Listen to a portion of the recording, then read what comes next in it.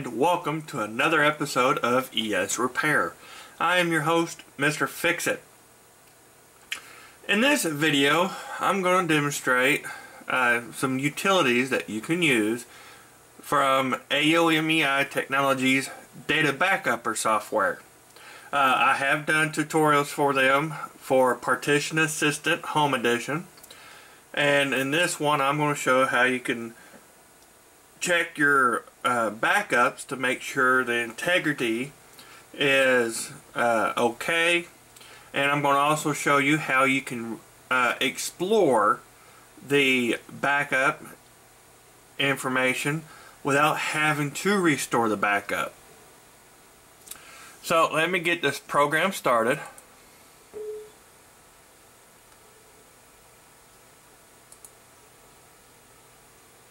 Uh, as you can see here, uh, it brings you up to the main window under Backup Management or Home tab.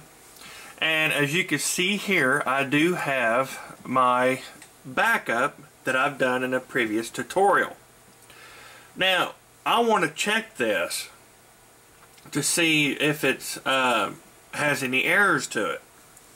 Now you can do it two ways. You could go over here to advanced and check image or you can go over here to utilities click utilities and then choose check image. Now it will give you a list of all of your uh, backup that it is uh, currently listing. Uh, you can also choose path and this will uh, you can locate another uh, backup that requires checking. Uh, what we're going to do is select and then choose next. Now what you could do now if you have more than one backup if you use uh, incremental or differential backups all of them will be listed on here too as well. Uh, this here is only the one backup, which was a full backup. And all you have to do is select a point that you want to check. So if you have a list, select which point you want the software to check. Well, I'm going to select this one since it's the only one on there and choose next. Now, it'll come up and tell you that it's checking the backup data. And it will, depending on the size of it, it will take a few minutes. Now, as you can see here, when it finishes, it says that the operation has been completed successfully and has not detected any problems. Now you just check finish and it's going to reload the disk. Now you can also uh, click advance and then check image. And all you have to do is just select the backup you want to check, choose advance, and then go check image. Uh, the next one that we're going to show you is uh, explore a backup without having to restore it. Now this comes in handy so if there's something you're looking for you don't have to restore the backup all you have to do is look through it. To do that you can either uh, go to the advance of the backup that you want and then choose explore. So, or you can go over here to utilities, choose explore image, Again, it will show you a list of the files that are backed up. In this case, you see my ES Repair demo. It's the only one that's listed because it's the only one there is. Uh, you can also choose path to locate another one. And once you select it, you can choose next.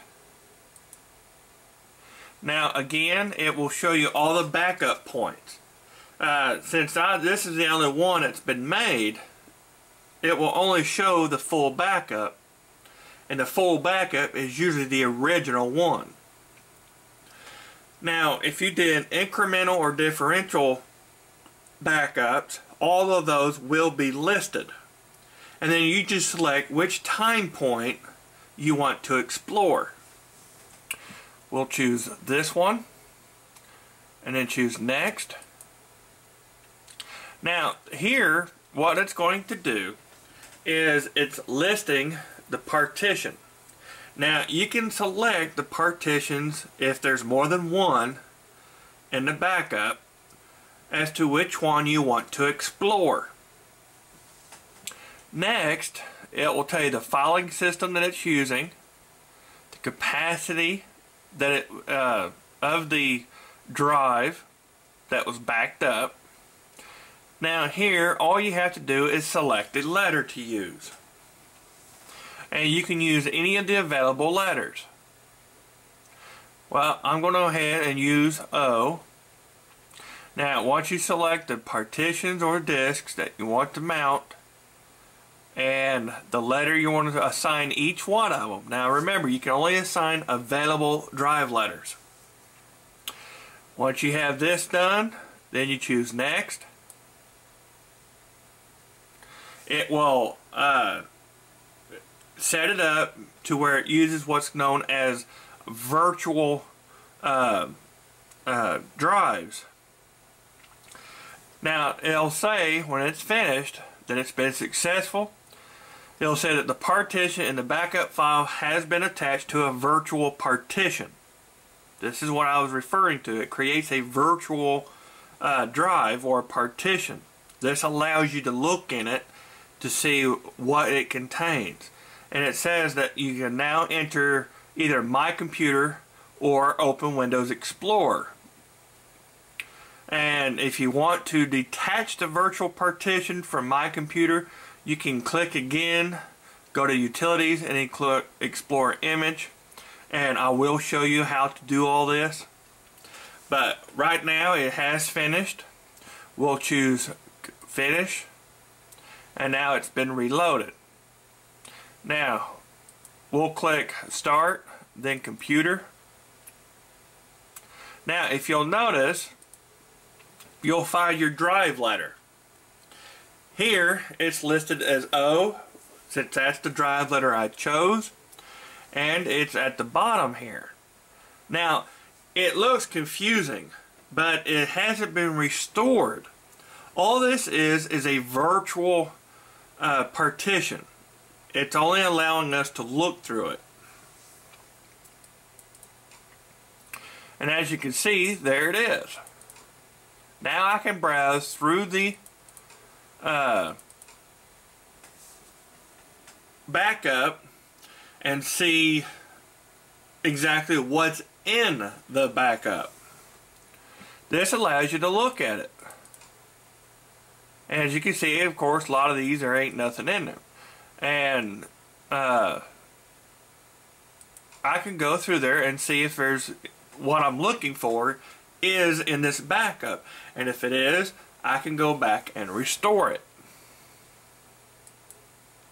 Now, once it's mounted into a virtual partition, once you're finished, you go back, choose Utilities, choose Explore Image, and here you can explore the image or detach it. And what you can do is select it, and it gives you two choices. You can explore it or if you select it you can choose detach. Now once it's detached then it unmounts it from the operating system. As you can see O is no longer there now. And that's all there is to exploring in backup image. Now you can explore, choose a different one, and continue looking through uh, backup images to find what you're looking for.